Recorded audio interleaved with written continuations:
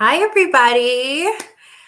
This is Debbie with Artist Hustle TV. I'm so excited. You clicked on this video because you want to build a fan base in your music career, whether you're a producer, you're an artist, whatever it is, you want to build a fan base. And I want to walk you through a system and something that's going to help you understand where your fans are and how you can develop a system throughout the journey of discovering and becoming loyal fans of your music. Make sure that you like this video. Make sure you subscribe. Visit our website, artisthustle.com, for everything that you need to know. And make sure you sign up for our VIP email list.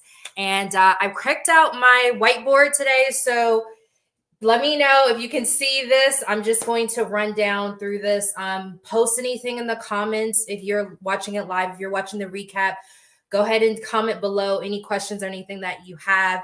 So I saw this graphic on um, bandzoogle.com and it was amazing. And I loved it because it literally walked you from the moment someone finds out about your music all the way to the point where they're your loyal fans. They love you. They want to buy any and everything for you. And I think that it's really important for you to determine like what does that look like i know people are like why do i need to know this information because you have to develop a system where you say okay from the moment that they know about who I am to the moment where they start purchasing and different things like that, you need to have a model and a system of you understanding where you where they are in the journey of being your fan. So let's jump let's jump into it. So the first thing they go over is the discovery, okay?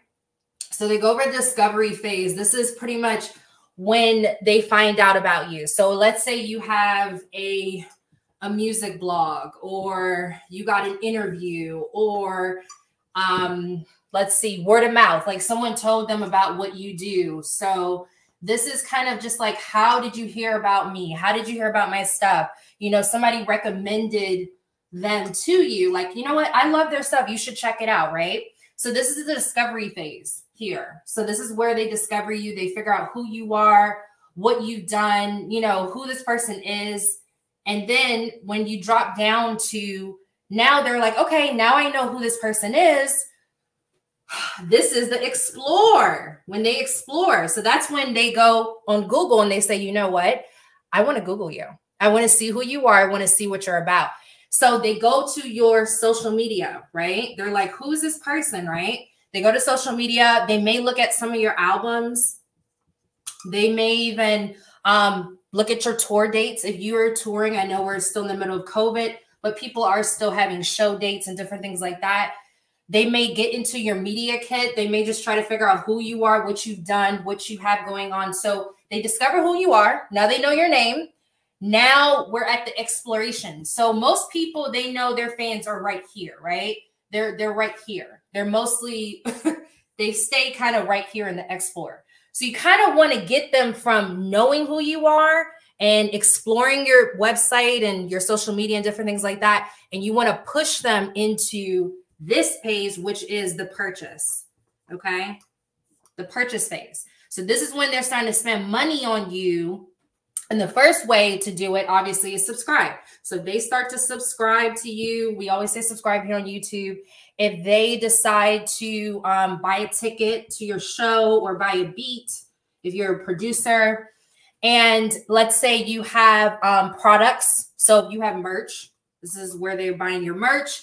This is whatever you want to offer to them. This could be even services. I know some artists, they literally, they're tattoo artists or they do other things outside of music, but this is where they're making money now. So a lot of people have issues with getting to this point, right? They know you on social media. They they have they know about your album. Maybe they got it for free, but now you got to get them to the purchase. You know, have they actually purchased with you? Have they bought a beat? Have they done a service with you? Have they bought merchandising? Have they subscribed to anything that you have going on? So you a lot of people get stuck between the explore and the purchase, right?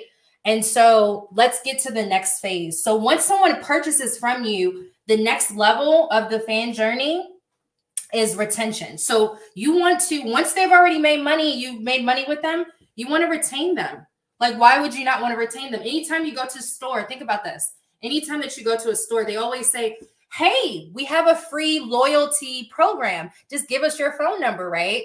And you start to get emails and you start to get you have to start thinking like that as a business. You have to think, how do I retain these people? Okay, I don't want them to just buy one ticket from me. I don't want them to just buy one piece of t-shirt or a whatever, just a one-time purchase. I want this to be a retention thing where it's a reoccurring income for myself.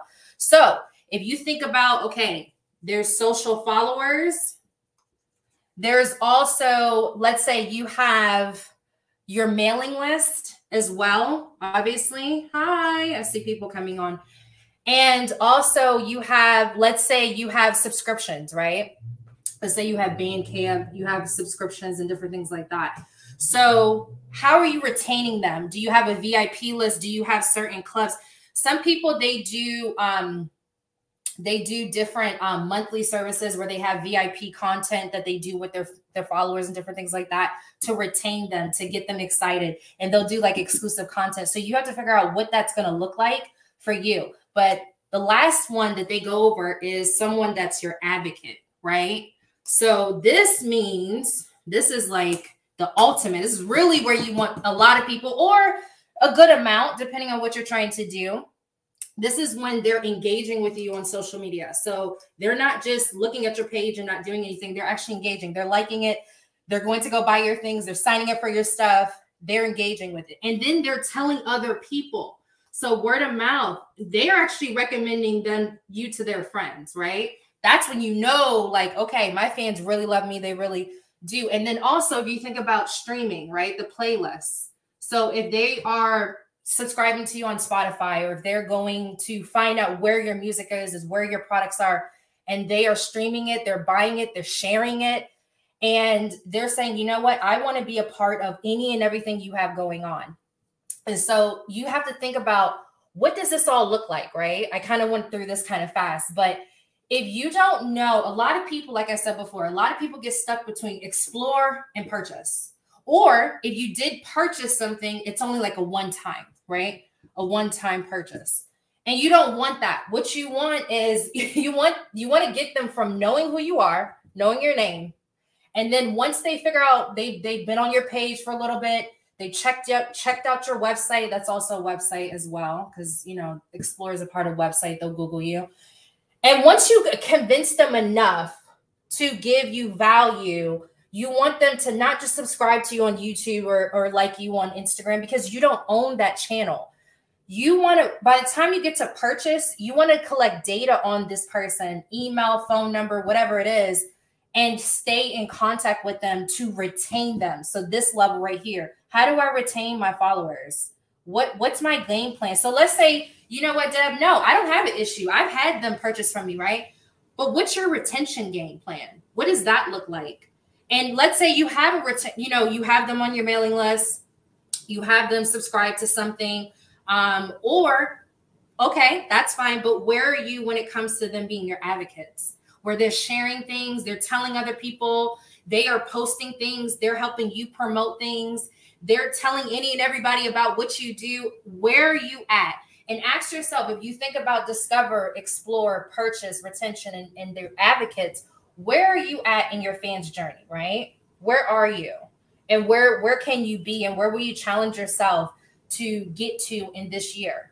And so i love this uh, graphic that they had. It, it was for mainly seo but really it can be for anything. If you're trying to build a fan base and this can not just it's not just about musicians it's anybody really in business. They discover who you are they explore they, they go find out who you are and what you what you're about so they're kind of interested and then enough time. So this is the thing about explore and purchase. People have to hear about you enough. I believe the statistics about seven different times, seven to 10 different times before they purchase from you. And that does not mean every post is buy my music, buy my music, buy my music, or purchase my bead or come to my, it's not always about that. It's about giving value. The, the difference between getting to explore, this is value what did you do? Like, oh wow, I cannot spell today. value, value. So, what did you do between explore and purchase? And then this is another value add right here. If you want them to be retained, like once they purchase from you, what other value can you add to their lives? What's something different? What's something new? And what's something creative that you can retain them now that they bought from you? what's the next level of the ad, the value that you can give to them, right? What is something different? What is something that they do not have right now that they would love? If it's exclusive content, if it's exclusive gear, whatever it is, that it's just all value add. And then this is the results, right? When they become your advocacy, this is the results of giving value from all the way up, all the way down. So let me know if you have any comments or questions. Make sure you come back and review this, share this video with other people in the music industry, and uh, let me know what your thoughts are. Thanks again for watching Artist Hustle TV. I will see you guys next time. Bye.